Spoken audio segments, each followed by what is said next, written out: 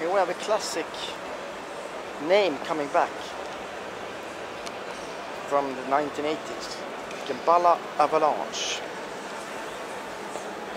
And Avalanche should be really extrovert, in your face, technical highlights, as it was with TV screens and things in 1985, I believe.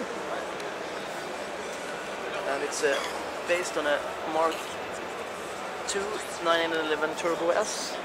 You can see the parallel lights it has in left and front spoiler. One thing that really surprised me is that you have the air scoop on the roof. See? Breathing fresh air into the engine, I assume.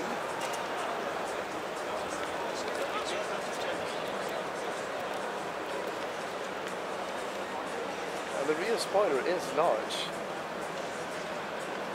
But I wanted to show you this because it's kind of nostalgic. I talked with Uwe Gemballa, Top Marques Monaco. Nice guy at the time. Oh, locked.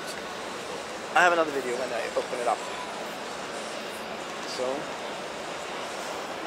all in all, outlandish as an avalanche.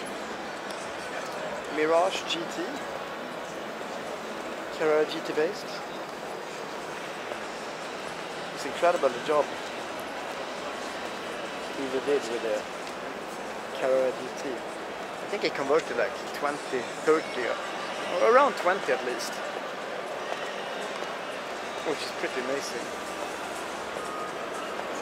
And is this even, this is the old Panamera. Oh, that's why. Anyway, that's all for now.